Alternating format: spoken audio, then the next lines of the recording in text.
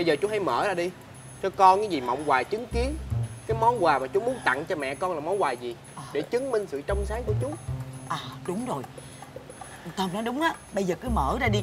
Nếu mà cái món quà bình thường thì thôi còn nếu nó nó mang cái cái tính cách mà giống như là có cái gì nó không được bình thường đó thì ừm, mình cứ nhận sai đi ha. À, bây giờ mở ra đi để chứng tỏ mình trong sáng. Có gì đâu mà chú ấp úng như vậy. Ờ ờ trời ơi đổ mồ hôi rồi nè. Bạn học thôi mà đúng không chú? Ờ, bạn bình thường thôi mà. Cây nghe không sợ chết đứng chú ha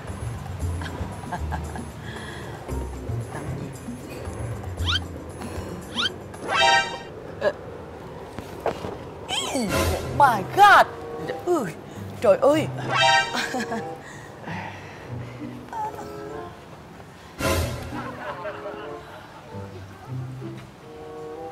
Chú. Chú nói chú là bạn bình thường với mẹ con. Mà chú tặng cái váy ngủ cho mẹ con. Nếu không bình thường thì chú tặng tới cái gì? Ờ ờ ờ ờ, con à con ờ, đừng có hiểu lầm. Thật ra chú không có cái ý gì hết. Ờ, chú là chú ờ, nhờ người chọn quà giùm mà chú không ngờ nhân viên của chú nó lại chọn món quà này. Ờ, dạ con hiểu rồi. Coi như đây là sự cố. Con hy vọng từ đây về sau chú hãy rút kinh nghiệm. Chú đừng tặng quà cho mẹ con nữa. Con nói cho chú biết gia đình của con tất cả bộ thành viên đều sẵn sàng làm tất cả những chuyện để bảo vệ hạnh phúc gia đình của mình. Con chào chú. Con về trước nha. Ờ ờ ờ. Ừm, Hiểu lầm thôi nha Tom ha à,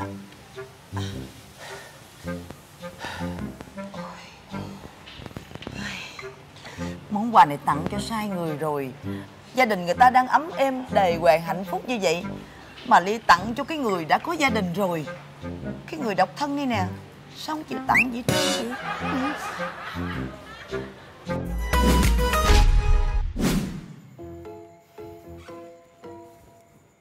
Sao vậy? Tự nhiên bữa nay bộ rảnh rỗi lắm hả? Kêu tôi mua quà cho mẹ cậu ừ? cái chuyện này quan trọng lắm đó ba chứ không phải giỡn chơi đâu ba không có biết hả bây giờ con hay đọc sách nè sách người ta nói phụ nữ rất cần sự quan tâm của một người đàn ông mà trong khi con thấy ba suốt ngày á ba cứ lo làm việc ba không thèm quan tâm tới mẹ. Lỡ có một người đàn ông nào khác á tới quan tâm mẹ rồi tán tỉnh mẹ ba không lo à. Tôi nói cho cậu biết nha Cậu nói câu này là cậu đụng chạm tới tâm lý của mẹ cậu rồi đó. Mẹ cậu là một người đàn bà rất là thủy chung Và nhất nhất là luôn luôn trong đầu của mẹ chỉ có một mình ba mà thôi. Thì con biết nhưng mà ai biết được sự đời đâu ba.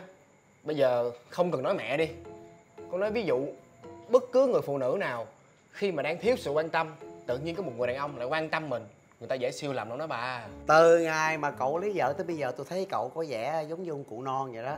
Sao? dạ. Muốn già hơn tôi rồi hả? Được. Ngày mai tôi sẽ mua quà tặng cho mẹ cậu được chưa? nè ba hứa là ba phải giữ lời đó nha. Mà con thấy nha con mắt của con nhìn người không có trật đâu đảm bảo là cái chú gì đó tặng cái váy ngủ cho mẹ là có ý đồ với mẹ. Con không muốn á mẹ phạm sai lầm chỉ vì ba thiếu quan tâm mẹ.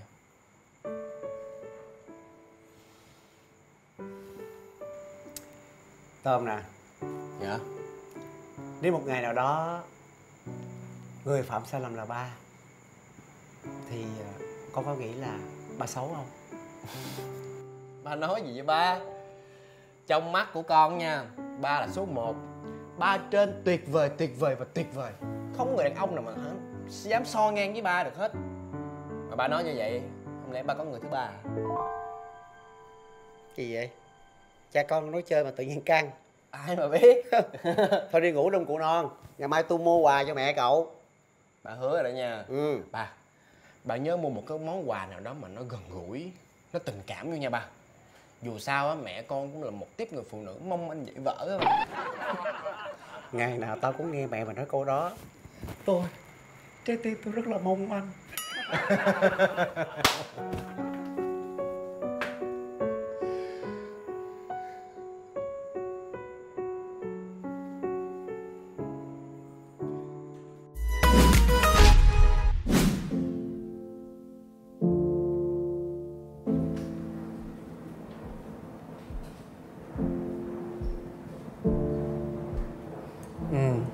con ráng đi Lân.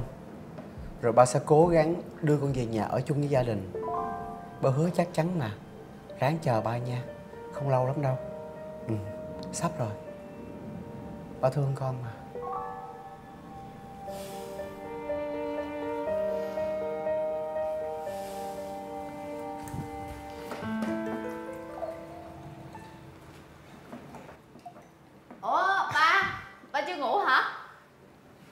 À, định đi xuống um, à, xuống uống nước.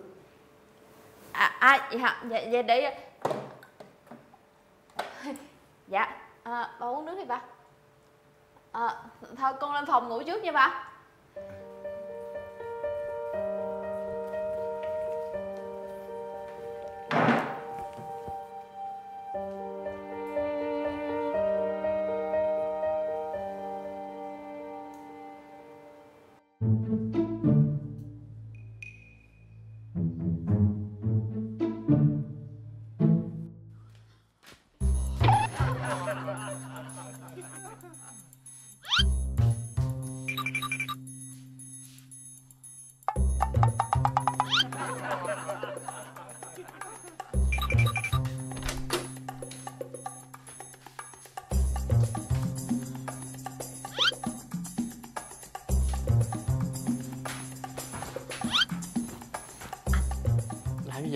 Ba với mẹ có hạnh phúc không?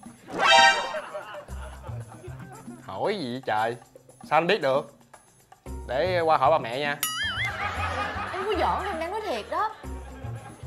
Tại vì biết sao không? Hiện tại em đang giữ một cái bí mật rất là khủng khiếp của ba mẹ. Mà em em em muốn chào nó ra ngoài quá em em không giữ được nữa rồi. Nè để anh đoán nha. Cái bí mật đó là em đang nghĩ là ba mẹ một trong hai người. Có người thứ ba đúng không? Em biết vậy? Biết ngay Anh biết đúng không? Anh biết đúng không? Trời ơi em sao vậy? Cái đầu của em á lúc nào cũng suy diễn lung tung hết á. Tụi tưởng tượng bay xa lắm luôn á. Nè nói nói vậy thôi chứ mốt tưởng tượng tôi có bồ nữa nha. Anh nghĩ sao vậy hả? Em á là em nói thiệt á Anh không tin em chứ em có giỡn đâu. Bỏ tay em luôn. Cái gì vậy mới nói gì? Anh có bồ hả? Anh có bồ hả? Vậy hồi nào Anh có bồ dạ. hả? Anh có bồ hồi nào? Anh mới nói kìa. Anh chỉ nói là sau này em tưởng tượng thôi chứ bộ. Em tưởng tượng hồi nào em đang nói thiệt mà. Anh có bồ thiệt đúng không? Không có.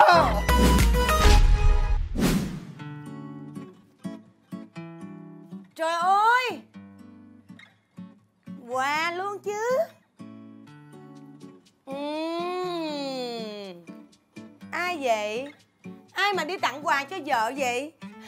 Trời ơi tặng quà cho vợ à Thấy người ta tặng quà cho vợ mình rồi Mới biết giá trị của vợ mình như thế nào đúng không? Đúng không? Em thích không? Cái này á hả? Cũng được. Bởi vì à, màu nổi quá à. Nếu mà nó hồng hồng Nó màu nuy một chút á, thì nó đẹp hơn. Lần sau sẽ cố gắng à, mua nhiều, nhiều món đồ cho em thích hơn nữa. Anh cũng cảm ơn em. Thời gian qua đã chăm sóc anh rất nhiều Mà anh thì lại không quan tâm tới điều đó Ủa vậy hả? Anh có thấy điều đó luôn Anh thấy là anh không có quan tâm em luôn Vậy là em thiệt thòi đó hả?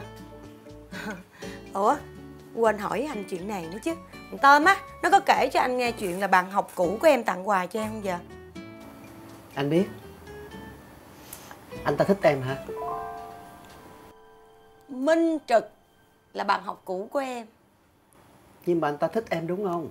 Sao anh hỏi vậy? Bởi vì Cái người đàn ông đó không có đàng hoàng. Sao vậy? Đi tặng một cái áo ngủ cho một người phụ nữ đã có gia đình. Ơ, Những cái người như vậy á Em đọc sách nhiều mà. Chắc em hiểu được Anh không cần phải nói. Em muốn nói với anh á, Minh Trực là người bạn tốt của em Người bạn cũ của em ngày xưa Hiện giờ là một giám đốc của một công ty lớn Được rất là nhiều người trọng vọng Điều đó anh không biết. Anh chỉ thấy rằng là đi tặng đồ ngủ cho phụ nữ là một cái điều không tốt rồi cái gì mà không tốt? À, à, Người ta đàng hoàng, rất là đàng hoàng. Ờ, ủa, anh nói vậy Chẳng khác nào anh cũng từng đi tặng quà cho phụ nữ Những cái đồ, món đồ ngủ như vậy hả? Em đừng có sợ chuyện nọ Em nói chuyện kia được không? Từ đã sắp tới Em thích món gì em cứ nói. Anh sẵn sàng mua hết cho em Bởi vì em đáng được hưởng như vậy. Trời ơi, không biết phải nghe đúng không á Đáng được hưởng như vậy. Cảm ơn anh nghe Không dám nhận đâu. Ngọc à. Có chuyện gì ạ? anh muốn nói với em một chuyện quan Em đã nói với anh rồi. Bạn đó tên là Minh Trực Là bạn học cũ của em Là một người tốt, người đàng hoàng tử tế. Anh đừng có nói này nói nọ Anh muốn cái gì anh nói thẳng đi Anh đừng có dông dài nữa. Anh không có ghen với trượt Không nghe mà nói chuyện cái kiểu là Kêu Ngọc ơi Ngọc à Bắt đầu vô vấn đề em hiểu anh quá mà. Thật ra là anh có chuyện quan trọng muốn nói với em. Thì đã, bây giờ em đã nói rồi Không có cái gì hết Ghen tương cái gì đâu mà Cần em phải đi giải thích hoài như vậy chứ. Anh có con riêng ở ngoài. Em nói anh nghe là Nói gì? Anh mới vừa nói cái gì vậy? Hả? Anh mới vừa nói cái câu gì? Không phải là chuyện của em mà chuyện của anh Chuyện gì anh có con riêng.